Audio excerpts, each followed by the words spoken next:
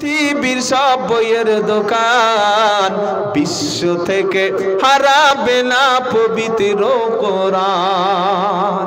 একটু সুবহানাল্লাহ বলেন। সুবহানাল্লাহ। আল্লাহু আকবার জোরে বলেন।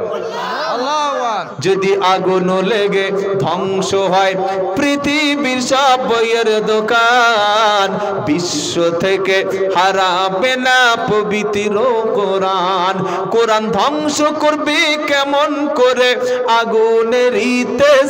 কোরআন ধ্বংস করবে কেমন করে? আগুনের ইতেস। আজ বিশ্ব ভরা লক্ষ কোটি কোরআনের হাফেজ। তারা ছাপিয়ে আসমানি গ্রন্থ, তারা ছাপিয়ে আসমানি গ্রন্থ, বাঁচাবে ইসলামের ইমান বিশ্ব থেকে হারাবে না পবিত্র কোরআন। যদি আগুন লেগে ধ্বংস হয় পৃথিবীর সব বইয়ের দোকান। বিশ্ব থেকে হারাবে না পবিত্র কোরআন। কোরআন নিয়ে কত লোকে করল? আদালতে কেস। কোরআন নিয়ে কত লোকে করল? আদালতে কেস।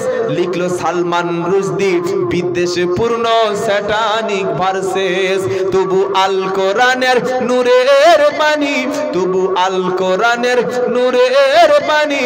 সারা বিশ্বে হয়নি ম্লান বিশ্ব থেকে হারাবে না পবিত্র কোরআন।